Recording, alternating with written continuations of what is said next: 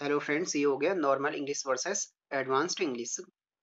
की bit secret को कहेंगे अंडर रैप्स वेस्टिंग टाइम को का एडवांस इंग्लिश हो गया. वेस्टिंग टाइम का हो गया फैफिंग अराउंड हर ऐप का हो गया सेक लेग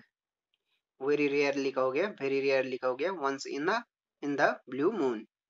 fall asleep का हो गया nod nodded it off very tired का हो गया वॉर्न आउट वेरी बिज़ी का हो गया स्वम्ड नॉट डिफ़िकल्ट का गया not a rocket science lucky का गया जेमी वेरी हैप्पी का गया